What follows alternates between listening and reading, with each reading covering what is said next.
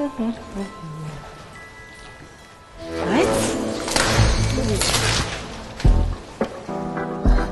Ugh. Oh. smell like something died. Lulu!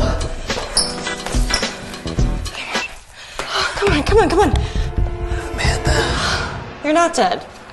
Look, Lulu, you don't have to kill yourself trying to get in shape. I don't. No! Just use CerniFit. What are you, a trainer now? No.